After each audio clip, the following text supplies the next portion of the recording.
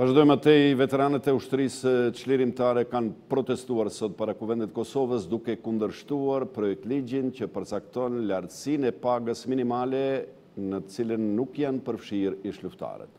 E ndonëse nisi e qetë, situata eskaloi në kohën kur protestuesit tentuan të futeshin në oborrin e Kuvendit.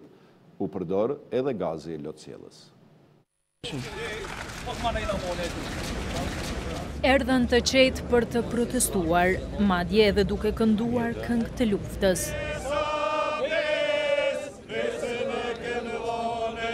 Por në kohën kur po pritej të niste seanca e Kuvendit, Protestuesit nga organizatat e dala nga lufta e UÇK-së u bënë më të zhurmshëm.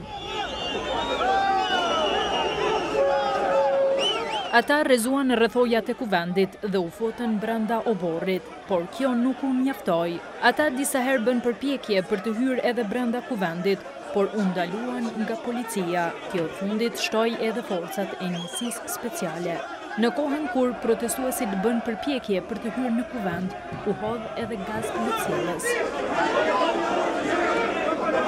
Por hedhja e gazit u mohua nga të dy anët, edhe nga protestuesit edhe nga policia. Për t'i qetësuar protestuesit, një fjalim mbajti deputeti i PDK-së Hysen Berisha, i cili tha se kanë të drejtën në kërkesat e tyre, por nuk duhet të bëjnë protesta të dhunshme, duke i lënduar policët. E kërkesat e tyre i përkrahu edhe kryetari i PSD-së, Dardan Molliqaj, i cili ishte pjesë e protestës. Por protestuesit nuk u ndaluan, duke kërkuar përfshirjen në projektin për ngritjen e pagës minimale. Pas dështimit të votimit në parim të këtij projektligji, protestuesve iu bashkuan edhe deputetët e PDK-së.